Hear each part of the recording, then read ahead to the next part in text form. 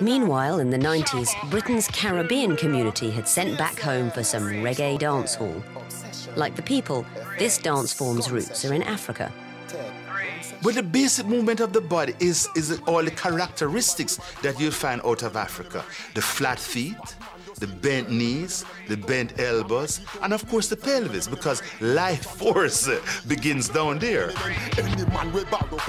In Africa, the dances, all dances, reflect the environment, whether you're springing like an antelope or moving like a snake. However, in the Caribbean, we don't have any jungles. So we look at everyday life for our dances. We had uh, cut the grass. There was um, hand cart, yeah, from from the guys driving their hand carts and how they would dip and bob and weave through the traffic. They look at cartoons and they look at the Jerry Springer show and um, see the people fighting and they make up dances like that and call it Jerry Springer. One, two, one, two, signal the plane. Bam, bam, bam, bam, bam, bam, bam, bam. It's constantly evolving. The change is just amazing.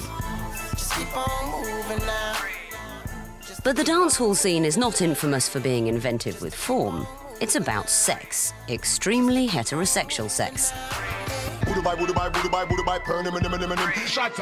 The dancing is very erotic. It's very explicit. It's been described as a kind of form of uh, sexual foreplay. The moves are controversial, particularly in these confused times for feminism, the way the women dance.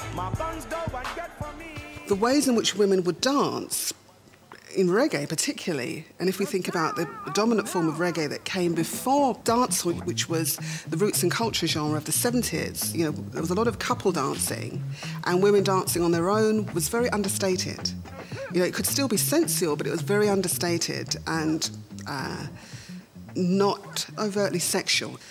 But with dancehall, you begin to see women really going for their sexual kill and getting rid of any notion of being demure. So women of a whole range of sizes and appearances now will display their bodies with great um, abandon and with confidence. But one person's confidence can be another person's slackness. Because they would see the girls with their mini skirts up here, they'd be doing all the, you know, all the sexy moves like pole dancers or strippers. From within our culture, the older people would say that's a lot of slackness. That's dirty. That's nasty dancing. Clearly, what makes it rude or slack, if some people call it, is the attire that they have on. Because sometimes we're all scared of our bodies, and sometimes it's a little bit overdone. But I think it's also women claiming back their power. when they're in the dance, uh, we just say it's them a rule. you go to Africa, you see women dancing, and some part of the breast might be dropping out. They're dancing. They got on their wrap skirts and the legs.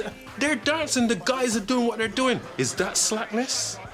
Dancing doesn't always look good, but it's about feeling good. And there, the connection with sex comes in. Mm.